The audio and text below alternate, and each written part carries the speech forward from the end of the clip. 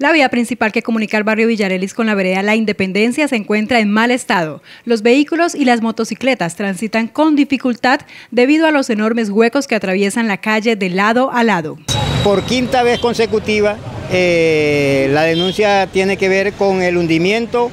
aquí en esta zona, el trabajo que hizo Microtúnel hace unos años,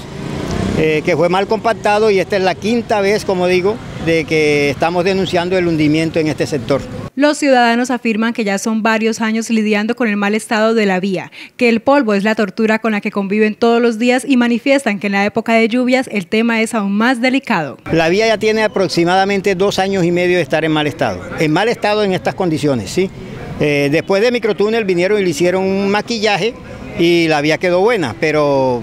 fue mal compactado en los puntos principalmente donde tuvieron que hacer excavación a cielo abierto y debido a las lluvias de, esto, de esta temporada, pues volvió y se hundió el terreno, como pueden observar, se hundió y se nos está, este, se nos está dañando la vía, que no tenemos otra vía de acceso sino es esta. Los líderes comunitarios del sector expresaron que ya han realizado solicitudes a las autoridades competentes para que intervengan las calles y ejecuten obras de pavimentación.